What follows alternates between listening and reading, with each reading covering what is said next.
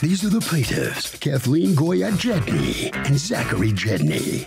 Kathleen says they hired the defendant to undercoat her son's truck as a Christmas present. They paid the defendant in cash. He never did any work to the truck, and his promises of returning their money mean nothing. That's right, he keeps saying the check is in the mail. It never is, and they're suing this crook for the $850 they're owed.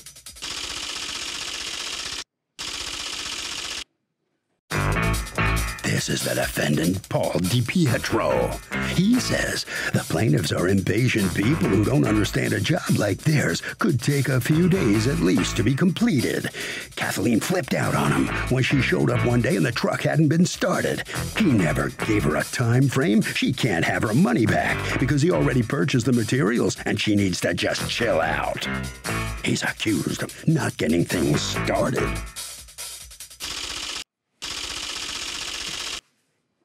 All parties, please raise your right hands. Welcome back to the People's Court. Next case on the docket. The plaintiff says the defendant was hired to undercoat their son's truck, but he never did the All job. People's Now, Court is now in supposedly, he sent them a refund, but Marilyn they never received a penny. The defendant says uh, they took the truck back before he even had a chance to start it. So tough. It's the case of the have checks in the mail. Okay, thank you. You're welcome, ma'am. Hi. Hi, So, um, the gentleman next to you is? My son. All right, and so for Christmas, what'd you get him? I was attempting to get him undercoating, a protective undercoating, um, to protect under his truck from What rusting. kind of truck do you have? He has a Ford F350. Do you have a tongue? Well, yeah, Okay. What kind of truck do you have? I have 350. Okay, and how did you guys conclude that that's what it needed? Like, what made you feel like it needed that?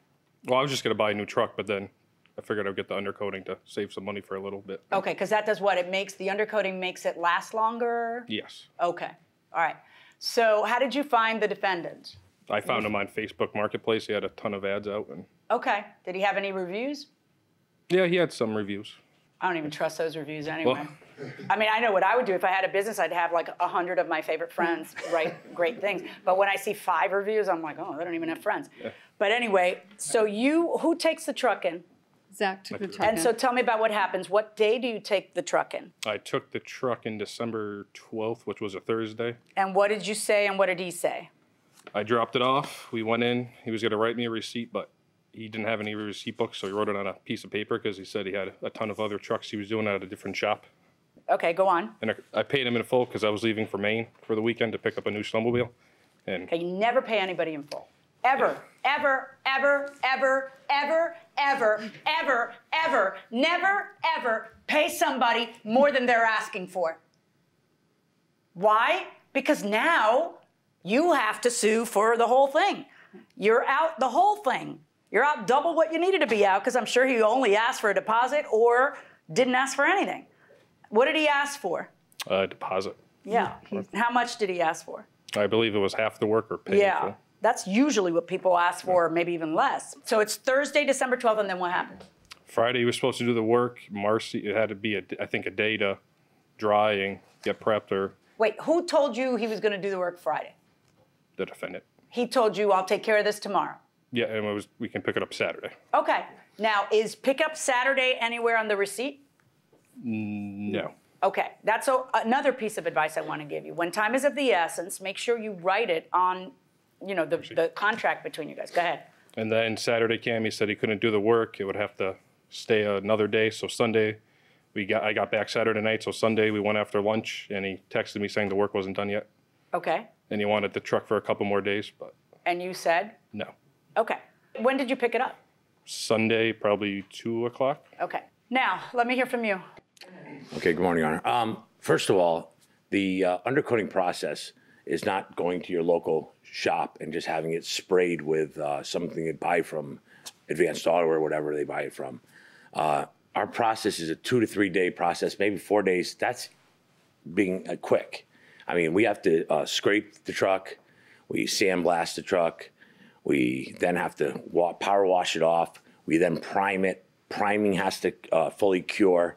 Then we, Well, how long does it take to fully cure? Um, it take four to six hours for the primer. Okay. But the undercoating could take absolutely like up to eight to twelve hours because um, It depends actually on the weather, believe it or not.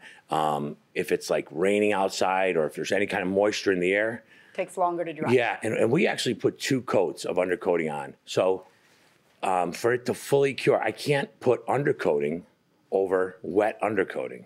So what happens is it fully dries and Okay, gets he like testified that you told him it'd be ready for pickup Saturday. yeah, that it's absolutely not true. I, I would I've never I, what I tell people is that it could take three to four days, but it could take even longer. Again, if it's dry and it's nice out, Why would it take longer? because if it's raining out, Yeah, but even if it's raining out, it wouldn't take that much longer. it would take 12 hours. Yeah, that's uh, 12 hours That's another That's not- day, right? Um, now, in this case, was I think if I can remember back that, that we were overbooked that week. Um, I believe he brought it in, like you said, on a Thursday. Um, I've never met the mother, um, but that I've been very cordial with the mother. That's nice, but what I have to determine is did you or didn't you tell him that it'd be done in two days? I, I wouldn't. I don't tell any of my customers it's to be done in two days because that's impossible. It's even on a good time, it's three days. It's just because. Like, well, then what did you tell him it would take? Because what's good for the goose is good for the gander. The, the receipt doesn't say when he could pick it up. Correct. So why don't you put in the receipt? Well, here- it could well- take up to a week. Uh, I've never done that. What I would tell the customers is, uh, call me back in a couple days. I'll give you an update on the vehicle. I believe they came down three days later and said, "That's it. We want we want our truck." Welcome back to the People's Court. The plaintiffs say that the defendant never did the undercoating on their son's truck, nor did he return their deposit. But the defendant says it takes three to four days minimum to do the job if weather cooperates, and he had no other work going on. But the plaintiffs were impatient and demanded the truck back. Let's go back into the courtroom. And what did you say to them? Um, I said to them, "I need more time."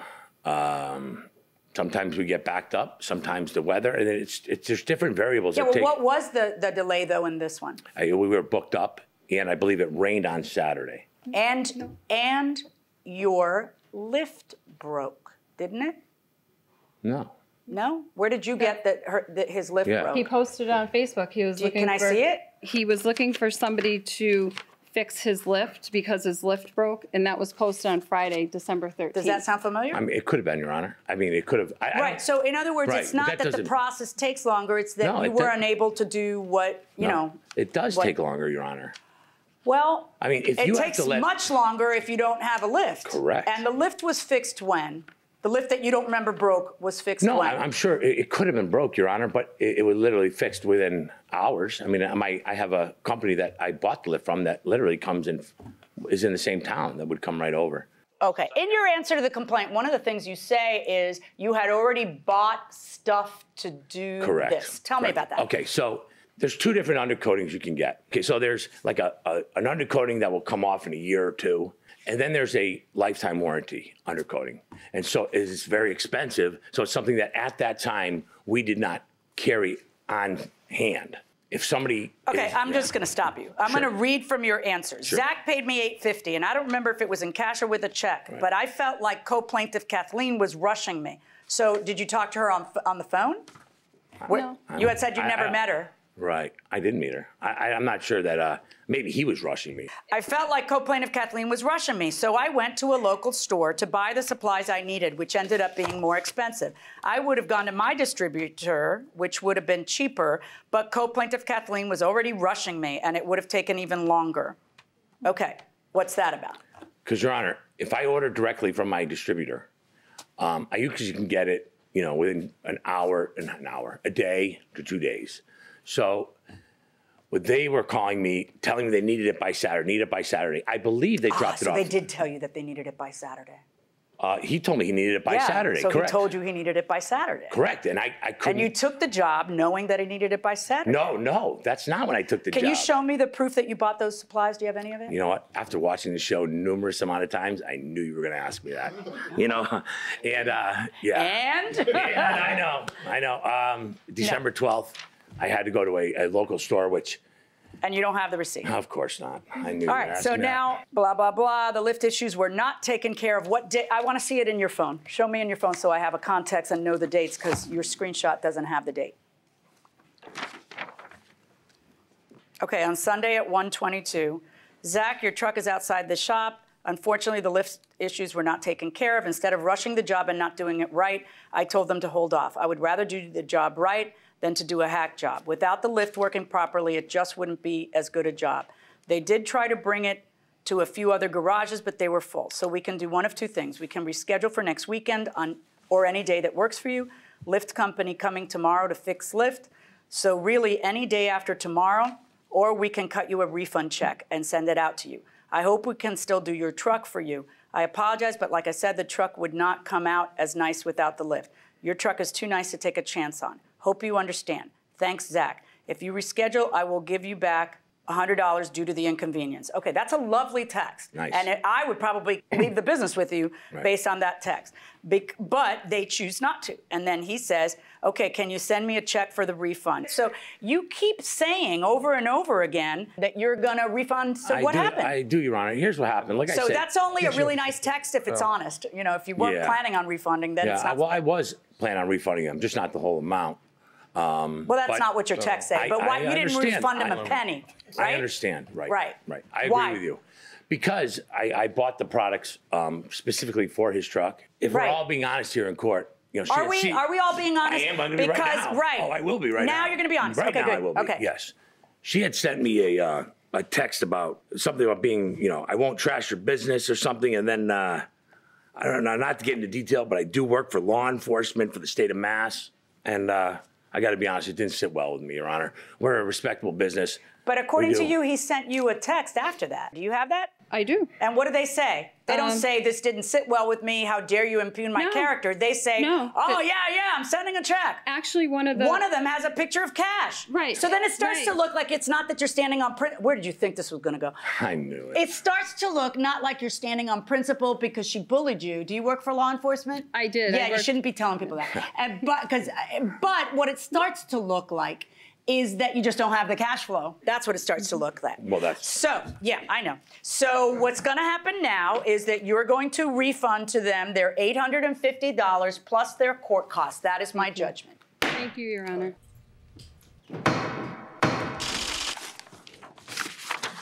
So, after a lengthy wait, filing a lawsuit, the plaintiffs are going to get their $850 back. Why didn't you send it to them?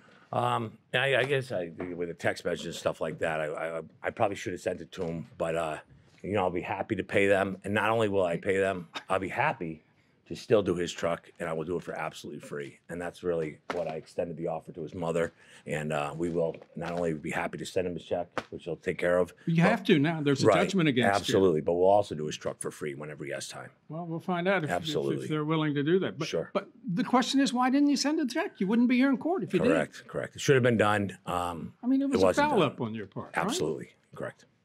It was, Okay. Doug. Okay. All right. Thank you very Thank much. you. All right. Well, the plaintiffs are on their way out of court. What do you think about what he just said? He has not been able to tell the truth from day one. Um, I was prepared to give other names and from Manchester Police Department names of people that he did the same thing to as well. Well, yeah, he's just offered to do your trick for free. Yeah, I'm not going to bring it back. You're not? No. Don't trust him? No.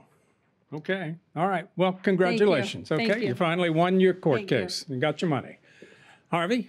You know, I got to tell you, Doug, it is so important. We've talked about this before to keep accurate, complete paperwork if you're a business person. It would have helped this defendant a lot if it said in the paperwork how much time it would take to do the job.